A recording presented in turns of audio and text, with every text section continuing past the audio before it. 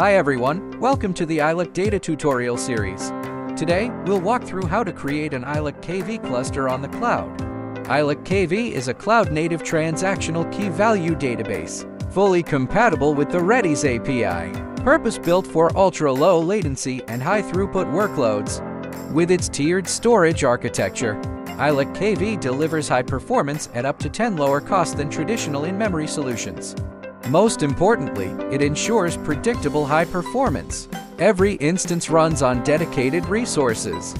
Thanks to its thread per core architecture, EloqKV fully harnesses modern multi-core CPUs to achieve up to 10 higher throughput and sub-millisecond latency compared to standard Redis services.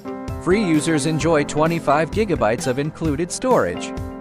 First, open your browser and visit https cloud.eloqdata.com slash login.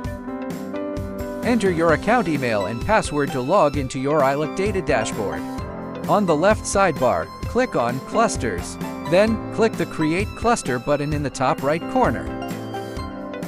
Enter your cluster name.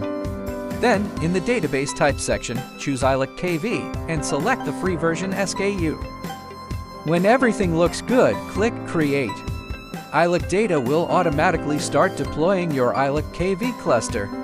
The deployment usually takes just a few seconds. Once the status turns to available, your cluster is ready to use. Click the cluster name to open the Details page. Here, you can view the connection string and use it to connect your application. Now, copy the connection string. Next, let's go to the terminal and connect using the copied string. Once connected, you will see a success message. For more details on EloqKV's capabilities, check out our article via the website link shown in the video. Thanks for watching! Don't forget to like, subscribe, and check out our next video.